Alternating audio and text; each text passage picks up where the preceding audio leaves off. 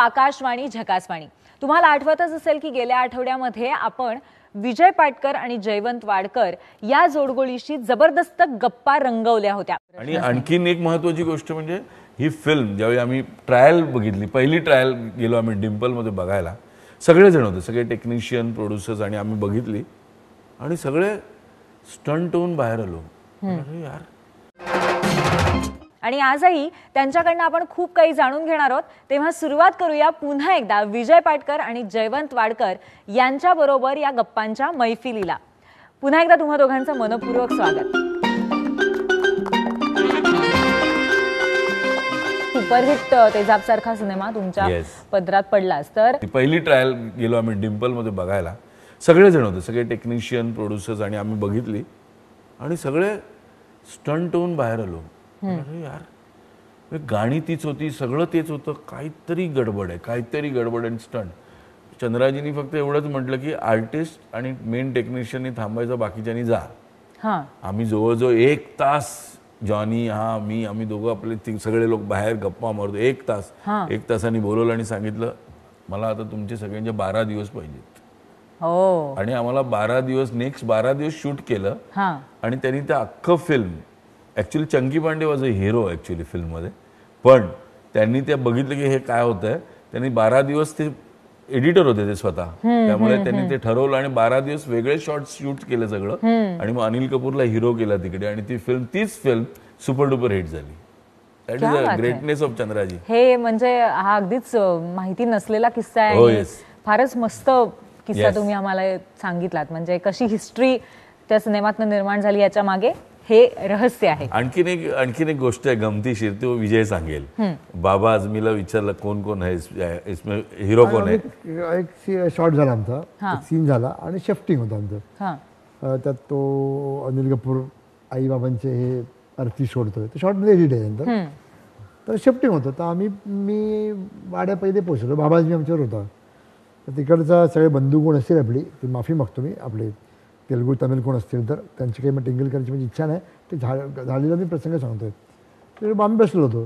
बोला ॲक्टर तर हिंदी येत नाही ना. शूटिंग शूटिंग ॲक्टर मग ॲक्टर बाबाजीने बघितलं आणि बघितलं हे क्या ॲक्टर वाड्या पाट्या. ॲक्टर अरे आम्हाला तोंडावर शिवाय घालून तो गेला होता तो. त्याला असं वाटलं शूटिंग म्हटल्यानंतर कोण कोण असतील इकडे? बसले असतील. आम्ही आपले काळे दोघे बसलो होतो तिकडे. आणखी आमचा जेवणाचा किस्सा होता. आम्ही मी म्हटलं ना त्यावेळेपासून बुजरे आम्ही ना. ब्रेक म्हटलं. आणि यांच्या ब्रेक व्हायचा तीन साडेतीन अच्छा. चार सव्वा चार? साडेचार वाजता ब्रेक व्हायचा. ब्रेक हा? जेवणाचा ब्रेक आणि तेव्हा पण जेवायचं भूक लागलेली असायची ना. आणि ब्रेक म्हटलं का सगळे ते बिचारे टेक्निशियन वगैरे बिचारे काम करत असतात. त्या बरोबर. आपण नऊला पोहोचतो ते तर सात वाजता. ते लागायचे जेवण काय उरायचंच नाही आम्हाला. म्हणजे मी कित्येक दिवस वाड्या आणि मी दही भात खाऊन राहिले. थोडा बापरे. भात राहायचा दही घ्यायचो भाजी नाही चपाती नाही काय नाही काय नाही. दही भात खायचो चलो ब्रेकवर शूटिंग सहा वाजता बॅकअप हे दोन तीन दिवसांनी अनिल कपूरने बघितलं. हा. त्यांनी मला बघितलं. विजय वाघ क्या कर रहा तू तो खाना खा रहा हूं इधर. कल से या बैठने का. त्याने बसवलं. रोज त्याच्या डब्यातनं आम्ही आम्ही जेवायचो. रोज रोज. क्या बात आहे.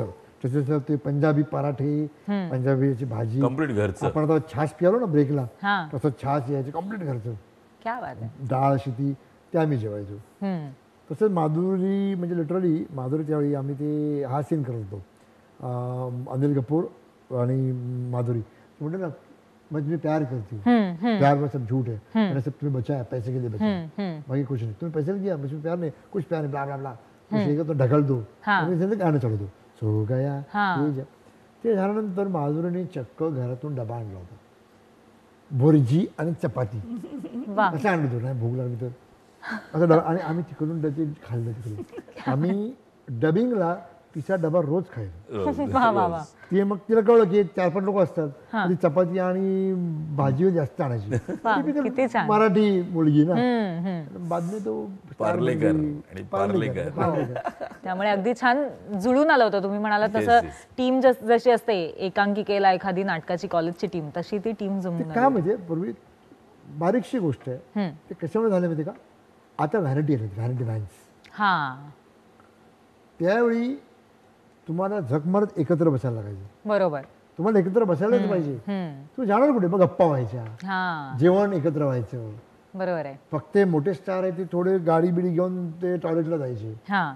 पण आम्ही आपले झाडं झुडपत बघायचो. त्यामुळे काय सगळं झकमारत तिकडे एकत्र असायचो. तर एकत्र आता व्हॅनिटी व्हॅन आल्यामुळे डिटॅचमेंट सेटवर कोण आहे पण कळत नाही. तर कोणाचं पॅकअप झालं कोण व्हॅनिटीमध्ये गेलं आणि निघून गेलं काही कळत नाही. ती गंमत गेली. ती गंमत गेली. म्हणजे परवाची गोष्ट आम्ही मराठी सिनेमा करत होतो. आम्हाला कळलं मोहन जोशी आहे. त्यानंतर उज्ज्वला जोग होती. सयाजी शिंदे मंगेश देसाई विजय पाटकर असे कळल्यानंतर आम्ही व्हॅनिटी आम्ही व्हॅन रूम सोडून दिले आम्ही. आम्ही ते जुने लोक ना खुर्च्या मांडून लगेच हा हा ई ऊ आम चालू होतो मी नावं घेत नाही पण आताची आपली हिरो आणि हिरोईन व्हॅनिटी जेवण व्हॅनिटीत पाहिजे मला पण मोहन जोशी वगैरे आमचे सिनियर आम्ही एकत्र डबे बिबे घेऊन एकत्र ते बसत भंकस करत तिकडे आम्ही जेवलो पण नदी राव मी नवीन मला दोष देत नाही त्या गोष्टीचा. मुळीच दोष देत नाही, असं केलं म्हणजे तसं नाही असं केलं म्हणजे चांगलं मुळीच नाही बरोबर आहे. टाइम टाइम टाइम की बात आहे. अगदी ते जनरेशन आहे. भाग येतो पण तुम्ही काय मुक्ताय हम्म. हेही कळायला हे पाहिजे. करायला पाहिजे खरंय तुम्ही तुझी व्हॅलिटीत जा हो. पण आता मी जो डिरेक्टर झालोय आम्ही जेव्हा शिकलोय ते बघून आणि ऐकून बरोबर आहे टीव्ही सेंटरमध्ये आलो किती सिनियर्स आम्ही बघितले. आम्ही आता नाटकात गेलो तिथे किती सिनियर्स बघितलेत. आणि बघतो आणि ऐकलंय. तेच तुम्ही जर कवाड तुमची बंद केलीत मला वाटतं तुमचं वाचून पण होत नाही तेवढं. बरोबर. तुम्हाला ऍक्च्युअल प्रॅक्टिकल तुम्हाला जे अनुभव मिळतात ना तेवढे तुम्हाला वाचून पण नाही मिळत. वाचून म्हणजे तुमचं तुमचं पर्स्पेक्शन तुमचं एकच असतं. ना. हो हे. वाचलं आणि मी ऐकून घेतलं. हे वाचलं मी ऐकून घेतलं. तुला माहिती होते पण मी जेव्हा पूर्वीशी बोलतो जेव्हा पूर्वी विजय पाटकरशी बोलते जयवंत वडकरशी बोलते मदन कानड्यांशी बोलते. ते मिस्त्रीशी बोलते प्रदीप कॅमेरामध्ये याच्याशी बोलते अनिलशी बोलते. हे प्रत्येकाचे पर्स्पेक्टिव्ह कळतं आपल्याला. बरोबर. फक्त प्रॅक्टिकल गोष्टीनेच तुम्हाला कळू शकतो. आणि म्हणून मी आज जो काय प्रॅक्टिकॅलिटी आणि एक्सटेम्पो याच्यावर मी आज जगत आलेलो आहे. वा अगदी खरंय तर असा तुमचा हिंदी सिनेमाचा प्रवास तिथे सुरू एका दृष्टीने झाला आणि त्यानंतर तुम्ही लगेच बऱ्याच सिनेमात दिसाल असं एक परसेप्शन होतं. पण प्रत्यक्षामध्ये मात्र तेवढ्या रिस्पॉन्सने सुरुवातीच्या काळात तसं घडलं नाही. याचं कारण काय आहे? आम्ही कन्झर्वेटिव्ह व्हेरी कन्झर्वेटिव्ह तुला माहिती आहे का? मला तेजाब नंतर मला दिल मिळाला होता. हां. दिल होता आणि दिल ते याचं काम कोण रे आपला? मुखर्जी कोण? मुखर्जी. हा. बबलू बबलू मुखर्जी. बबलू मुखर्जी अच्छा. ते कॅरेक्टर केलं. ते रोड कॅरेक्टर ते कॅरेक्टर मी करणार होतो. बर. पण मला माहीत नाही. एवढं मोठं कॅरेक्टर आहे मला. आम्ही तेच ना. मला कुठे एवढं मोठं कॅरेक्टर असणार? मला कुठे हिरोचा मित्र बनवणार आहे? मी आपलं दोन तीन तीन सीन कॉमेडी करणार आणि घरी जाणार. असं सगळं डोळं कॅन्सरेटिव्ह हां. त्यामुळे मी पळालो. मी बघितलं. कल्पी शूटिंग आहे. नहीं. कल मेरी मराठी फिल्म की शूटिंग है अरे तो विषय बताना चाहिए था ना? आपने मुझे पूछा नाही. माहिती पण नाही म्हटलं ना. व्यावसायिक तर काय माहितीच नाही. डेट्स असतात बोलायचं असतं माझं शूटिंग आहे. अकरा ते सतरा माझं ह्याचं शूटिंग आहे. बोलणंच नाही. मी दुसऱ्या शूटिंग गेलोच नाही पळालो मी शूटिंगमधनं तिथेही पळालो मी. आणि मग कालांतराने मी इंदुराणीबरोबर सिनेमा केला तो धमाल. इतक्या वर्षामध्ये त्यांनी आठवण काढली की काय? भागोगे नाही ना? बोला इंदूजी. पण कर्मचारी साहेबांनी त्यानंतर मी नाही काम केलं पण नंतरच्या काळात मी बरेच सिनेमे केले. बरोबर. नाही सुरुवातीच्या काळामध्ये काय झालं आपल्याला ते नाटक आणि ह्याच्यावर जाम प्रेम. आम्ही नाटकासाठी केवढं सोडलंय. तेजाबचा सीन सॉरी मी ब्रेक केला सॉरी एक सिक्वेन्स आहे बघा सुरेश अबेरे हो करेक्ट छोड़ रहा हूँ येस मेरे जिम्मेदार पे मैं तुम्हें छोड़ रहा हूँ. आम्ही दोघं आणि जातो तो थांबतो तो वाईट शॉटला आम्ही नाही होत क्लोजला होतो आम्ही आणि वाईट शॉटला फक्त जॉनी लिव्हर आहे फक्त जॉनी लिव्हर इकडे सुरेश अबेरे आहे इकडे अनिल कपूरमध्ये फक्त जॉनी लिव्हर आहे तर आम्ही दोघे पळालो होतो कारण आमचा रात्री दहा वाजता घरघर या नाटकाचा शो होता शो होता आम्ही त्या कुठे? रोडच्या विरार विरार. दहीसर. विरारला गेलो होतो विरारला. China creek. China creek. China creek वरनं आम्ही बाईक वरनं रात्री दहाचा शो साडे दहाला पोहोचलो शो मग ही आपली आणि पुन्हा नाही जाऊ शकलो. रात्री संपला. हे. सगळं आपलं होतं. नाटक आणि माहीत ते सांगड कशी घालायची? माहिती नाही ग. नाही तर तुला सांगतो ना मी त्यावेळी जर म्हणजे अनिल वगैरे म्हणजे तुला हा म्हटलास की घरचं जेवण अनिल म्हणजे आम्ही डान्सची रिहर्सल असेल तर आम्ही सिरॉकला आधी जायचो. कारण सिरॉकला तो स्क्वॉश वगैरे खेळायचा मग तिथे यायचा. तिथे सगळं आमच्यासाठी खायला घेऊन यायचा. तिथे आम्ही नाश्ता करायचो घरचा आणि मग सत्यमला जाऊन रिहर्सल करायचो. जी चार पाच दिवस कोरिओग्राफ करायला जायचो. राजू खान आज एवढा मोठा डान्स डिरेक्टर आहे तो आम्हाला शिकवाय यायचा तिकडे करायला. यु नो तर त्या गोष्टी सगळ्या होत्या त्या ग्रेट होत्या सगळ्या गोष्टी. त्या आता नाही आहेत त्या. बरोबर आणि त्यावेळी जर आम्ही त्यांना पकडून राहिलो असतो जर अनिलला कळलं किंवा त्या सगळ्यांना. तर आम्ही त्या काळामध्ये पण भरपूर सिनेमे केले असते. बरोबर. कारण परत मला निश्चय नावाचा एक सिनेमा होता. हां. सलमान खान करीना कपूर. हां. करिश्मा कपूर. करिश्मा कपूर. करिश्मा कपूर आणि सलमान खान पिक्चर निश्चय नावाचा पिक्चर. तो आपला कमल होता ना? बसंत बसंत. बसंत. असिस्टंट असे बसंत. ना, हा. तो तिकडे असोसिएट होता. झालं होतं. किधर शूट आहे साऊथ में साऊथला शूटिंग करायचं. कोण करणार? आणि मग नाटकं बरीच आपली. असे मी त्या काळात दोन तीन मी सिनेमे सोडले पण प्रायोरिटी तुमची ठरलेली होती ना प्रायोरिटी पेक्षा त्यावेळी ते नव्हतं. कदाचित आत्ता जेवढे आम्ही हुशार आहोत किंवा आता आपल्याला माहिती आहे काय. पण तर तसं असतं तर आम्ही नक्कीच म्हणजे मी पण लज्जा वगैरे बऱ्याच फिल्म संतोषी ज- नाटकांमुळे सोडलेले आहेत. माहिती नाही लोकांना पण नाटकांमुळे आम्ही बरंच काय काय सोडलं. पण एनिवे दॅट इज अगेन इकडे लिहिलेलं असं ते होतच. तुम्हाला नंतर सगळ्या गोष्टी मिळतात अर्थात आणि सुपरहिट तेजाब सारखा सिनेमा तुमच्या. पदरात पडलाच तर तेजाब या सिनेमामुळे पाटकर आणि वाडकर यांना तेजा अ आणि तेजा ब अशा पद्धतीचं टोपण नाव मिळालं होतं. असं हा. लक्ष्मीकांत बेर्ड्यांनी हे टोपण नाव दिलं होतं तेजा अ आणि तेजा ब. तर अशाच गप्पा आपण अजून मारणार आहोत आणि बऱ्याच गोष्टी तुमच्याकडनं मला जाणून घ्यायच्या आहेत. पण पुन्हा एकदा एका छोट्या ब्रेकची वेळ झाली आहे तुम्ही कुठेही जाऊ नका. पाहत राहा आकाशवाणी. झकासवाणी. पुन्हा एकदा ब्रेक नंतर आकाशवाणी झकासवाणी या कार्यक्रमामध्ये सर्वांचं स्वागत आणि पाटकर आणि वाडकर सरांशी मी बोलतेय. तर आता पुन्हा एकदा व्यावसायिक नाटकाकडे येणार आहे मी पण तुमचं पहिलं व्यावसायिक नाटक जे तुम्ही डिरेक्ट केलंय म्हणजे डेंजर रेंजर तर ह्या नाटकाबद्दल सांगा की दिग्दर्शक म्हणून तुमचा हा प्रवास कसा झाला? मी म्हटलं ना मगाशी की मी इंटर बँकपासून डिरेक्टर झालो. आणि जनार्दन लवंगारे हे पण बँकेत हा. तर तिकडे त्यांनी बघितलं होतं. जवळ दोन तीन वर्ष माझं ते डिरेक्शन बघत होते. आता ते पण स्वतः डिरेक्टर आहेत. तर. सुद्धा म्हणाले की विजय हे मी जे नाटक लिहिलं आहे ना. ते तू डिरेक्ट कर तू चांगलं करशील. म्हटलं खूप चांगलं पहिलं वेळेला डिरेक्शन करीन. खूप खूप बरं वाटेल मला. आणि स्क्रिप्ट वाचलं तर ती पॅरडी होती. एक हॉरर प्लेची यांचं एक नाटक होतं. कोणीतरी आहे कोणीतरी आहे हा. कोणीतरी आहे ती तोडीची पॅरडी होती ती. आणि मी ते केलं होतं आणि ते लोकांना भयंकर आवडलं हा. होतं म्हणजे पण त्यावेळी जरा प्रयोग तसे फारसे होऊ शकले नाही. तर यांनी मध्ये नाटक बिटक सोडली.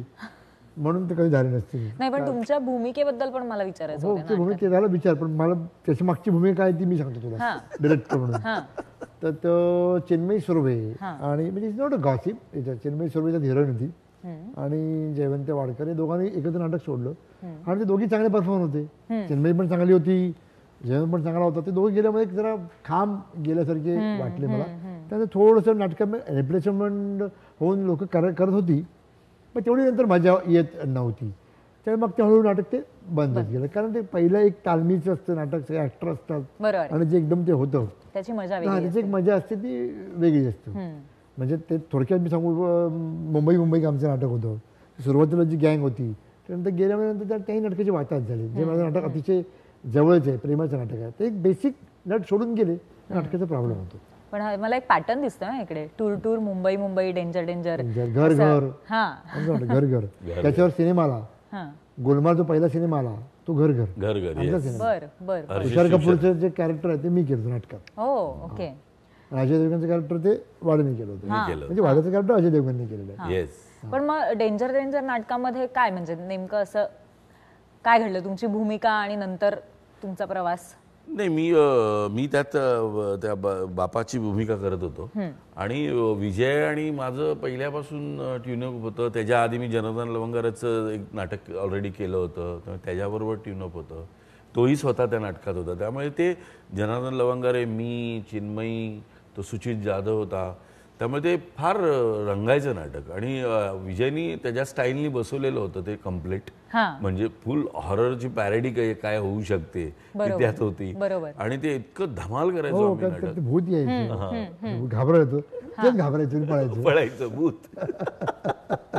आणि त्या व्यतिरिक्त मच्छिंद्र कांबळेंची नाटकं सुद्धा तुम्ही काही तेव्हा हो. दिग्दर्शित केलीत. हो. ते होतं एक आलिती बेस्ट. असे नाटक होतं. आणि एक ग्रेट नाटक केलं तुम्ही. हलकं फुलकं. येस.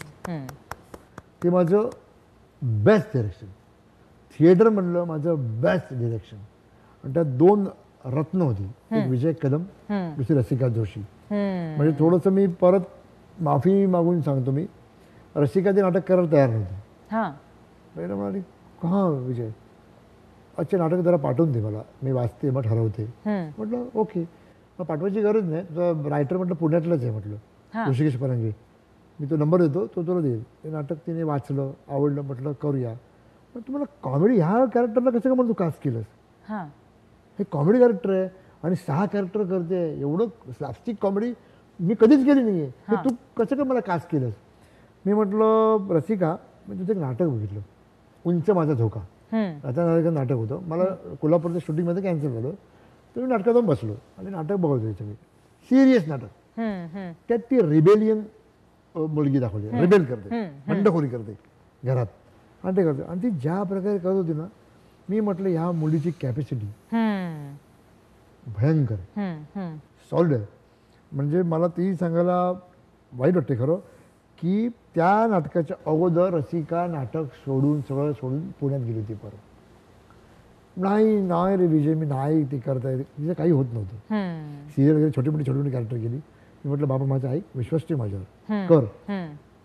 आणि डोंट बिलीव्ह ते नाटक मी तेरा दिवसात बसवलं. थर्टीन डेज तेरा दिवसात. आणि तेरा दिवसात नाटक कोणतं नाटक चालतं ज्याचं मला नाट्य परिषदेचं बेस्ट डिरेक्टरचं अवॉर्ड आहे मला. वा. क्या बात आणि अजूनही लोक जुन्या हलक्या फुलक्याची आठवण करतात म्हणजे आताही आमची मुलं चांगलंच करतात. सागर कारंडे आमचा Bharat Ganeshpure that that is not a comparison त्याने वेगळं कन्सिव्ह केलं मी ते जसं होतं तसं मी कन्सिव्ह केलं होतं. म्हणजे ऋषिकेश परंपरेने सांगितलं की अगोदरचा डिरेक्टर होता. विजयात काही काटछाट नाही करायची? रिच काय रिराईट नाही करायचे का. म्हणून कशाला रिराईट करायचं? म्हटलं हा पोर्शनमध्ये एडिट करायचे. बस बाई ॲज एडिटच करायचे. त्याने नाटक झाल्यानंतर सांगितलं एक प्रति प्रतितयश दिग्दर्शक होता. त्याने सांगितलं होतं हे नाटक फार टुकार आहे. हे असं करायला पाहिजे असं करावं लागेल तसं करावं लागेल तसं करावं लागेल असं करावं लागेल म्हटलं उसमे त्याचं काय त्याला वाटलं. त्याचं कन्व्हिक्शन उसको लगा. त्याच्याप्रमाणे त्याला करू दे. त्यासाठी मी जे केलं ते ग्रेट आणि त्याने तो करतो चुकीचं. तुमच्यासमोर काय येतं तुमच्यासमोर काय मांडलं जातं आणि काय घडतं? हीच गोष्ट असते. ती प्रामाणिकपणे करा. ते मी मांडली होती हलका फुलकं. आणि त्याचे एकशे अठरा प्रयोग झाले होते. एकशे अठरा. फॉरेनला पण कतारला पण त्याचे शो. एक का दोन शो झाले होते. पण त्या काळात रसिका जोशीसारखी चांगली ॲक्ट्रेस रंगभूमीला मिळाली होती. ऑफकोर्स चित्रपटाला सुद्धा नंतर मिळाली होती. हो नाही, अप्रतिमच होती कारण का त्या नाटकात मी नव्हतो. हा. त्याचा आणखीन एक कॅरेक्टर होतं तो आपला नंदू गाडगे. नंदू गाडगे. जो अँकरिंग आहे. तसं होता. पण मी त्या रिहर्सलला नेहमी जायचो. आणि त्याचा सेट सुद्धा युनिक होता. त्याला काही रघुवीर तळाशीर. रघुवीर तळाशीरकरांनी बनवलेला असे डोर डोर डोर डोर होत्या. फ्रेम्स होते. फ्रेम्स होत्या. फक्त फ्रेम फक्त फ्रेम होलो होतं. मी डिरेक्टर मी डिरेक्टर त्या नाटकाचा. मला त्यांनी विचारलं विजय सांग. अर्थ सांगायचं. काय कळेच नाही म्हणजे याचा अर्थ काय? म्हणजे कॅरेक्टर्स किती आहेत? बारा. हा. किती कॅरेक्टर लोक प्ले करतायत? दोघे जण. दोन कॅरेक्टर जर बारा लोक प्ले करू शकतात हा. तर हे प्रत्येकाचं एक आस्पेक्ट आहे. हा. ह्या कॅरेक्टरचं ह्या घरात नाही. एंट्री होईल हे कॅरेक्टर ह्या घरात नाही. हे कॅरेक्टर ह्या घरात नाही. म्हणजे डोर म्हणजे ते कॅरेक्टर घोषणं. डोर म्हणजे त्यांचं आस्पेक्ट त्यांचं कन्व्हिक्शन त्याचं पर्स्पेक्शन. हे. आणि हे आहेत. हम्म. म्हणजे ही तुमच्याकडे सहा कॅरेक्टर येतात अशी सहाशे कॅरेक्टर पण येऊ शकतात. या घरात. असं ते त्याचं कन्व्हिक्शन त्यांनी ग्रेट आणि. दोघही विजय आणि रसिका. चेंज करून यायच्या ना? असं जीव. असं म्हणजे इकडनं गे- इकडनं. इकडनं जयवंत वाडकर म्हणून गेलेली आहे. आणि तिकडनं येताना विजय पाटकर म्हणून विधी ना म्हणजे एक पंधरा वीस सेकंदामध्ये कॉस्ट्युम बदलून वगैरे. सॉलिड आणि त्याचं मी तो थिएट्रिकल केलं टोटल प्ले मी तो थिएट्रिकल केला होता. हा. It is not a film बिल्म करून. मला मला असं वाटतं की मी तसं डिरेक्टर की नाटकात नाटक करायचं. बरोबर आहे. सिनेमात सिनेमा करायचा. येस बरोबर. तर आपण मगाशी मराठी सिनेमाच्या मुद्द्यावर होतो की आपण हिंदी सिनेमाबद्दल बोलू नाटकांबद्दल बोललो पण मराठी सिनेमाचा हा प्रवास तुमचा सुरू झाला आणि तो आत्तापर्यंतही अत्यंत जबरदस्त चालू आहे. यामध्ये लक्ष्मीकांत बेर्डे पुरुषोत्तम बेर्डे यांच्याशी तुमचा जवळून संबंध आला होता. या सगळ्याबद्दल थोडंसं सांगा. मला असं वाटतं की त्या आम्ही ज्यावेळी तुझ्यापासून कर्मेना केल्यानंतर मी एक ने लगेच फिल्म केली होती चंगू मंगू नावाची. हां. त्यात मी विलन होतो मी आणि डॅडी म्हणतो मी विजू खोटे. आणि अशोक सराफ डबल रोल अरुणा इराणी वगैरे होती. अय्यो मी नारायण शेट्टीजी स्टार इंटरनॅशनल हॉटेलचा मालक साहेब. पंचवीस कोटीची टोपी लावली ओ टोपी घ्या अगदी मला. अय्यो त्या मेंबरचा आता फोन पण आला होता की ओ. तो फोन मीच केला होता. अय्यो. तुला तुझे पंचवीस कोटी रुपये परत मिळाले की तू आम्हाला एक कोटी रुपये देणार ना? अय्यो ताई नक्की देणार ताई हा. बालाजी शपथ साहेब अं, अं, अं, साहेब अं, अय्यो साहेब हीच ती बाई शेतकरी बनून आली होती साहेब हो. आणि त्याच्यानंतरच्या सगळ्या फिल्म्स ज्या होत्या त्यात मी विजय कॉमन होतो. म्हणजे सचिनजींबरोबर असेल पुरुषोत्तम बेर्डे बरोबर असेल त्या आम्ही फिल्म करत राहिलो. आणि अं, लक्षा जिथे तिथे होता म्हणजे तो तो आमची नावं सांगायचंच सांगायचं. हा. आम्ही दोघं कायम असायचोच असायचो त्याबरोबर. त्यामुळे इतक्या इतक्या सुंदर म्हणजे सगळ्याच फिल्म म्हणजे आम्ही ज्यावेळी फिल्म केली राधास्वामींची जी अं, त्याचं नाव होतं कुठे कुठे शोधून कुठं कुठं शोधू मी तिला तर त्या फिल्मसाठी सुद्धा ज्यावेळी त्या राधास्वामी हा आम्हाला साऊंड रेकॉर्डिस्ट होता आमचा तेजाबला. तेजाबला. तर त्याला त्याला माहिती होतं आम्ही काय आहोत. तर तो मला बोला मुझे एक फिल्म करनी है मराठी. तो म्हणलं मराठी फिल्म और तुम? तो मला मैं तेलुगु में फिल्म प्रोड्यूस किया है मैंने खुद एक्टिंग की है। बोला हा? तो बोला कोणसा फिल्म आहे तर एक लेडीज टेलर नावाची एक फिल्म तिकडची तेलुगू होती ती त्यांनी आणली दाखवली आम्हाला. मी म्हटलं हां. मग आम्ही लक्षाशी बोललो त्याला पाहिजे होतं की लक्ष्मीकांत बेर्डेला घेऊन करूया म्हणून. अच्छा. तर म्हटलं ओके फाईन मग लक्षाकडे गेलो आम्ही ती फिल्म दाखवली आणि ती त्याला आवडली आणि मग ती जी सगळी कॅरेक्टर आहेत त्यामध्ये सगळी. फोटोग्राफर म्हणा किंवा मी तो शि कपडे शिवणारा त्याच्या आजूबाजूची ती सगळी कॅरेक्टर्स ती नेहमी म्हणजे लक्षा ज्यावेळी त्यावेळी एखादं स्क्रिप्ट आलं की तो बघायचं की यांना मी कुठे आणू शकतोय सगळ्यांना. एक तर ट्युनिंग होतं सगळ्याच बाबतीमध्ये. म्हणजे राहण्यापासून सगळ्यापासून आमचं ट्युनिंग होतं. आम्ही सगळं एकत्र जसं जसं आपण मगाशी म्हटलं तसं सगळ्या गोष्टी एकत्र. त्यामुळे त्या एवढ्या गोष्टी घडत गेल्या आणि प्रत्येक वेळी ते इम्प्रोव्हायझेशन आणि इतक्या छान गोष्टी घडायच्या. म्हणजे विचाराच्या पलीकडे. हम्म, हम्म. तर त्यामुळे नाटकानंतर सिनेमा हे एक नॅचरल ट्रान्झिशन होतं. तर त्या सिनेमाच्या मुद्द्यावरतीच मी येणार आहे. पण आता वेळ झाली एका छोट्याशा ब्रेकची आपण ब्रेक घेऊया. आम्ही हे गेलो आणि हे आलो. पाहत राहा आकाशवाणी मला तेच पहिले दिवस आठवतो तुझ्या वाचून कर्मे ना. छोटंसं काम केलं होतं. त्यानंतर मग सगळं चालू झालं. दामू किंकरांची कृपा. त्यांनी पहिला सिनेमा आम्हाला दिला. तिथे अशोक सराफना बघितलं. लक्ष्मण बेर्डेला बघितलं लक्ष्मण बेर्डे बरोबर नाटक वगैरे आम्ही बरंच करत होतो. श्रीकांत मोघे होते. आशाताई पाटील त्या कोल्हापूरच्या त्या होत्या. वर्षा उजगावकरची वर्षा पहिली उजगाव- फिल्म वर्षा उजगावकर राजन तामाणे विजय पाटकर जयवंत वाडकर चेतन दळवी आणि अजिता सातभाई हा येस पुण्याची आर्टिस्ट सहा सहा जणांचा पहिला सिनेमा तो. तसं करत करत आलो. मग सचिनच्या बऱ्याच पिक्चर आम्ही केले. छोटी छोटी कॅरेक्टर होती म्हणा. पण पाच सहा पिक्चर काय केले. त्यामुळे रुळत गेलो रुळत गेलो रुळत गेलो. असं करत करत करत मराठी सिनेमा मराठी सिनेमा म्हणत म्हणत आता जवळ माझे दीडशे दोनशे तरी सिनेमे झाले असते. ॲक्टिंग ते करत करत मग दोन हजार पाच साली मी प्रोड्युसर झालो. प्रोड्युसर डिरेक्टर एक उन्हाळा दिवस नावाचा मी चित्रपट केला. शना नवरींची कथा होती. आणि अशोक सराफाने घेऊन तो सिनेमा केला होता. नंतर लगेच दुसऱ्या वर्षी मी चष्मे बहादरी केला. आणि आत्ता मी केला लाऊ कला तीन चित्रपट मी प्रोड्युसर आणि डिरेक्टर केले. आणि काही आणखी सहा सात चित्रपट मी हे पण केले. नुसतं डिरेक्ट केले. असा सगळा प्रवास होत होत हे सगळी सगळा हा अनुभव. गाठीशी घेऊन घेऊन घेऊन आमच्याच काही मंडळींनी माझ्यावर विश्वास टाकला. हा. आणि आता मी अध्यक्ष आहे. त्याच अखिल भारतीय मराठी चित्रपट महामंडळ. बरोबर. त्याचे मी आता अध्यक्ष आहे. तर तेही बरं वाटते एक वेगळी जबाबदारी आहे. बरोबर. ऍक्टिंग चालूच आहे डिरेक्शन चालूच आहे. प्रोड्यूस करीनच मी. त्याबरोबर एक जबाबदारी आहे. जबाबदारी म्हणण्यापेक्षा थोडं काय म्हणतात इनिशिएटिव्ह घ्यायला लागतं. बरोबर आहे. काहीतरी करावं असेल तर इनिशिएटिव्ह कारण मला त्या खुर्चीत बसून राहायचं माझी काही इच्छा नाही हा. अध्यक्ष म्हणून खुर्चीत बसून राहायचो. हा. असं मला काही कारण मी तसा माणूसच नाही मी डिरेक्टरच्या खुर्चीत बसून डिरेक्शन करत नाही. याला माहिती आहे. विजय आल्यापासून चित्रपट महामंडळाच्या मध्ये बऱ्याच बराच बराच बदल झाला. बऱ्याच गोष्टी होत आहेत. बऱ्याच वर्कशॉप होत आहेत. त्याच्या बऱ्याचशा आयडिया आहेत. आणि बेसिकली जसं म्हणजे एकोणपन्नास वर्षानंतर म्हणजे पहिलं वि शांताराम होते जे रायटर डिरेक्टर प्रोड्युसर ऍक्टर असे होते. तर त्यानंतर विजय पाटकर आलाय ॲज अन अध्यक्ष म्हणून. चित्रपट महामंडळाचे अध्यक्ष म्हणून सुद्धा एक प्रवास सध्याच्या काळामध्ये चाललेला आहे. तसंच जयवंत सर तुमचा एक वेगळा प्रवास नुकताच बेबीचा चित्रपट तुमचा रिलीज झाला. त्याच्यामध्ये तुम्ही खूप सुंदर भूमिका केली आहेत तर त्याही पातळीवरती सध्याचं तुमचं आणखीन पुढचं प्लॅनिंग काय आहे किंवा पुढचे आगामी चित्रपट कोणकोणते आहेत? आगामी म्हणजे आता विजयचं आहेच कॅरी ऑन देशपांडे आहे. त्यानंतर जी जी टपाल जी फिल्म आम्ही केली होती हां. त्यांची लालबागची राणी त्याची एक फिल्म आहे. वेगळी फिल्म आहे. बऱ्याचशा चांगल्या फिल्म आहे. मी महेश मांजरेकर करतायत आता नटसम्राटवर फिल्म त्यामध्ये सुद्धा काम करतोय त्यामुळे मोठं आहे त्यामध्ये नाना पाटेकर रीमा विक्रम गोखले बरेच दिग्गज लोक आहेत. त्यांच्यावर मला काम करण्याची संधी मिळेल. आणि असं बरंच आहे. आणि हिंदीमध्ये सुद्धा एक धर्मा प्रोडक्शनचं फिल्म आहे ते करणार आहे मी. वा. बाकी ऍड सगळं चालू आहे. मस्त. म्हणजे एकंदरीत तुमचा प्रवास आतापर्यंतचा खूप मोठा आहे. याच्या पुढेही खूप मोठा होणार आहे. आणि त्या दिशेने तुमची वाटचाल सुरू आहेच आणि आता गप्पांचा फड रंगत आलेला आहेच पण आता खरं तर वेळ झालेली आहे ती प्रेक्षकांच्या प्रश्नाची. हां. आमचे काही प्रेक्षक तुम्हाला थेट काही प्रश्न विचारू पाहतायत. आणि त्या प्रश्नांचं तुम्हाला उत्तर द्यायचंय. काही प्रश्न इंडिव्हिज्युअली आहेत आणि काही प्रश्न दोघांना एकत्र आहेत. तर पाहूया पहिला प्रश्न.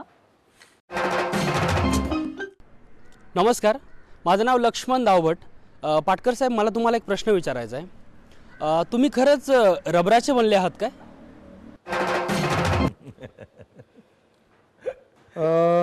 हे माझ्या आई बाबांनाच माहीत.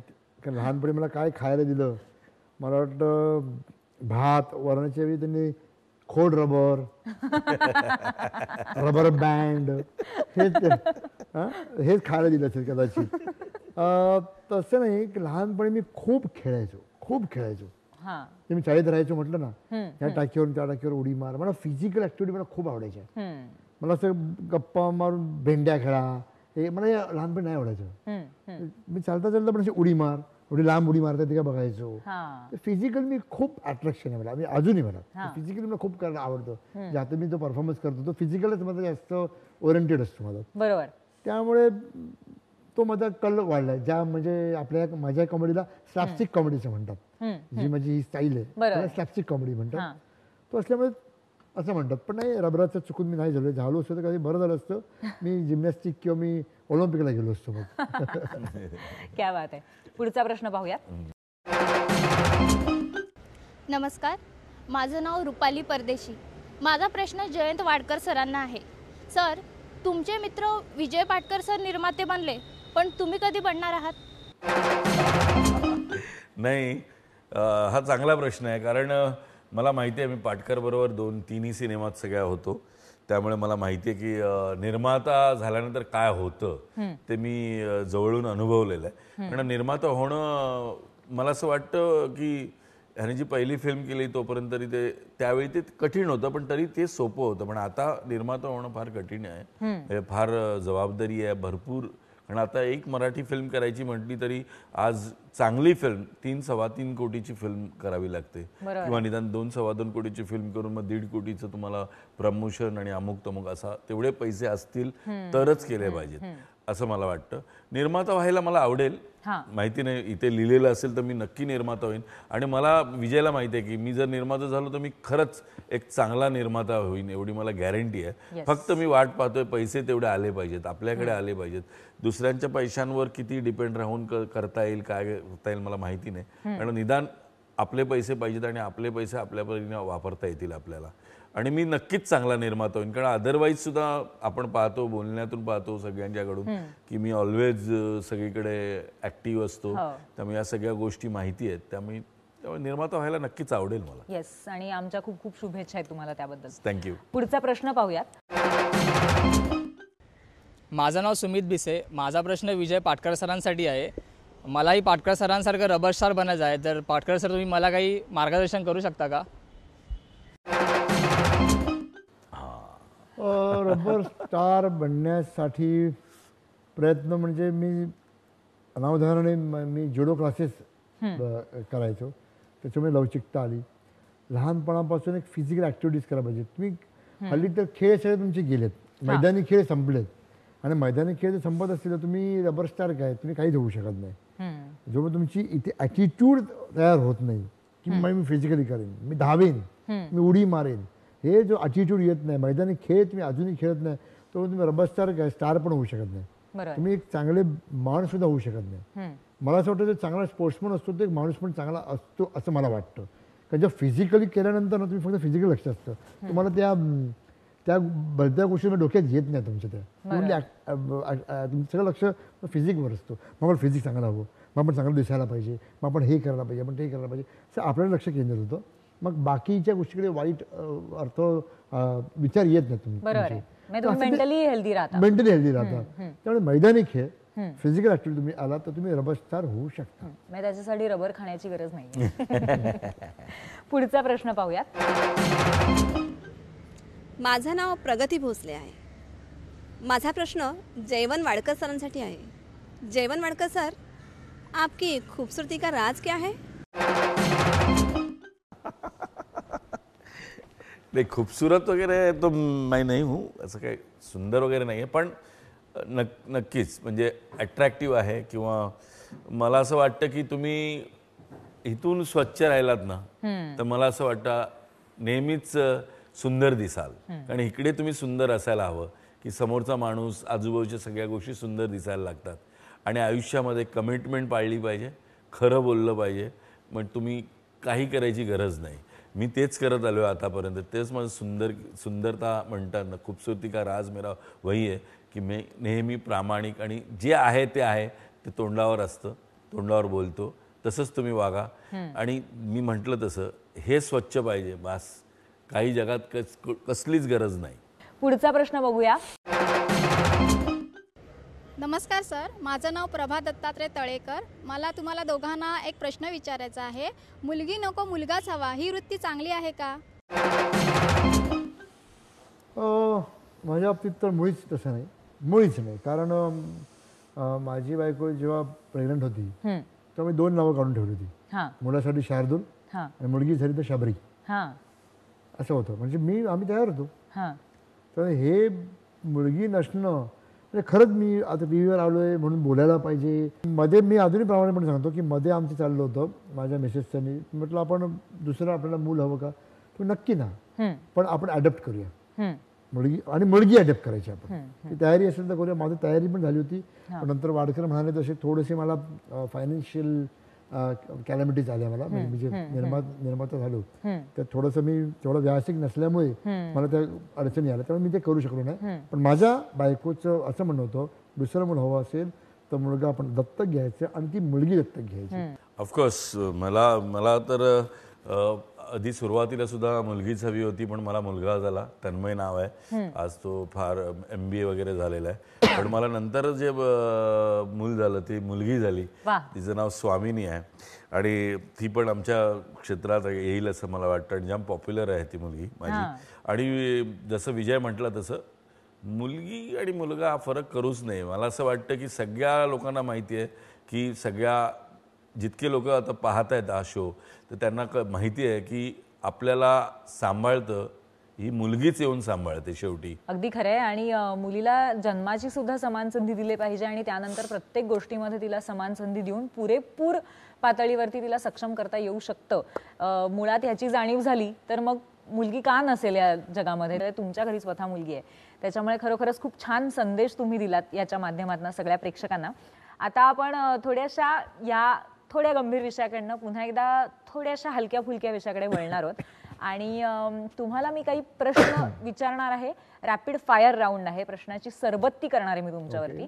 आणि त्याच्यावरती तुम्ही मला झटपट उत्तरं द्यायचे हं? सुरू करूया मग आपण? तर पहिला प्रश्न पाटकर सरांना आहे. पहिला प्रश्न आहे पुरुषोत्तम बेर्डे की एन चंद्रा? पुरुषोत्तम बेर्डे. पुरुषोत्तम बेर्डे की एन चंद्रा? पुरुषोत्तम बेर्डे. ओके. दुसरा प्रश्न आहे अशोक सराफ की लक्ष्मीकांत बेर्डे? अशोक लक्षा. लक्ष अशोक. वा वा वा. वा वा वा वा वा. अं, पुढचा प्रश्न.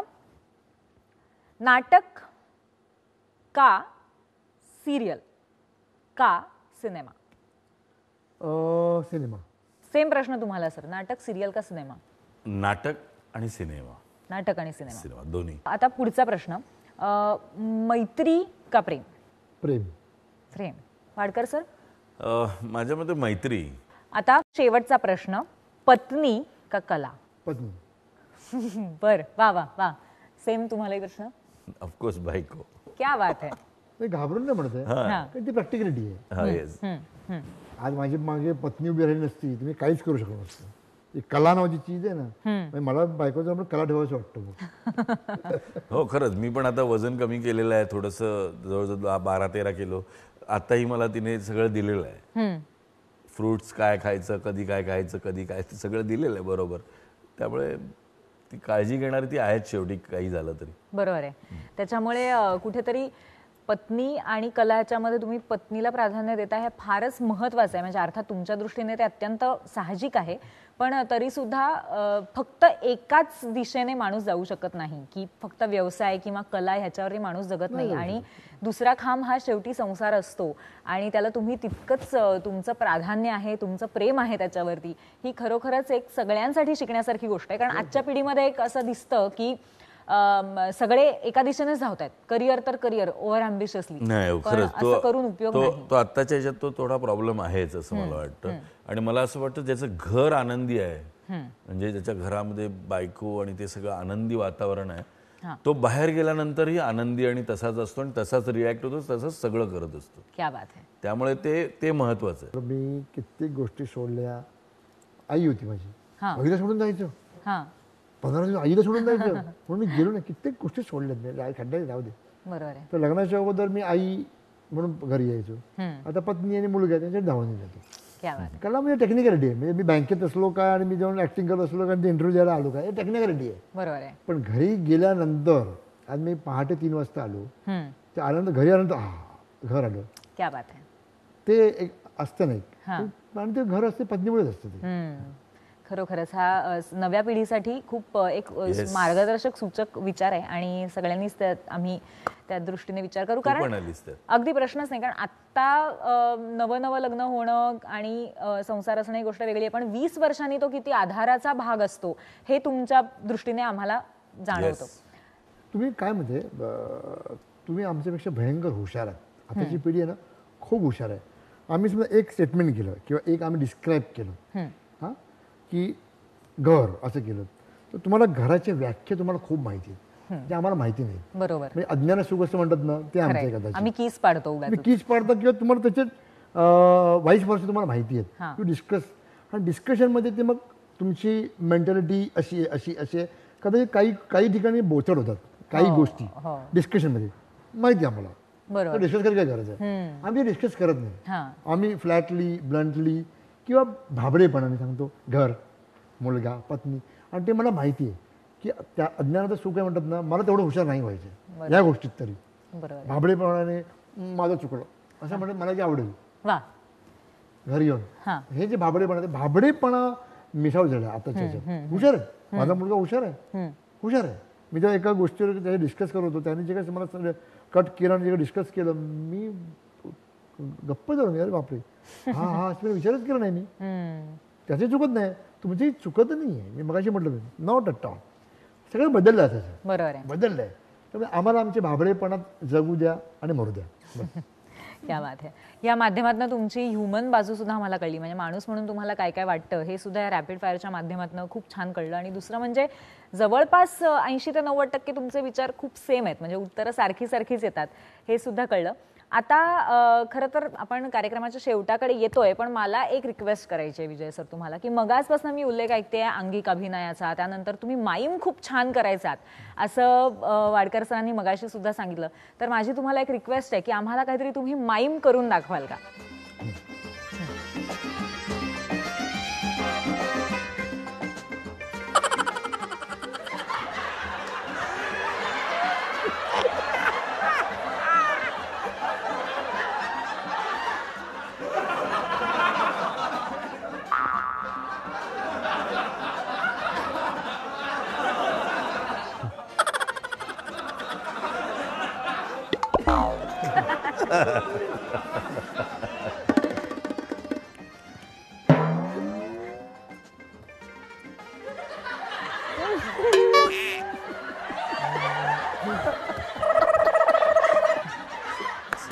सुपर सुपर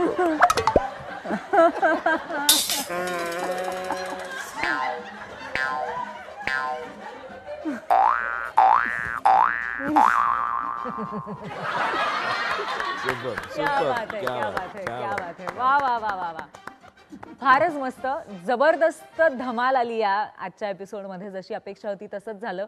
आणि सगळ्याच पातळीवरती तुमचा प्रवास तुमचा निर्माता दिग्दर्शक अभिनेता आणि मायमर किती मस्त माईम केलं तुम्ही. खरोखरच फार फारच छान हा पैलू. माझ्यासाठी पहिल्यांदाच इथे समोर आला आणि सगळ्यांच्या समोर पण आला याचा मला खूपच आनंद झालाय. आणि तसंच वाडकर सर तुमचा आत्तापर्यंतचा अभिनेता म्हणून प्रवास आणि कदाचित निर्मात्याकडे जाणारी हळूहळू तुमची पावलं आहेत अशी सुद्धा आम्हाला आशा आहे. त्यामुळे आज तुम्ही दोघं जण इथे आलात. आणि इतक्या छान मनमोकळ्या गप्पा मारल्यात. माझंही काम केलं तज्ञमधनं ब्रेक वगैरे घेतलेत आणि खरंच खूप खूप खूप मजा आली. त्याबद्दल खूप खूप धन्यवाद. Thank you so much. Thank you thank you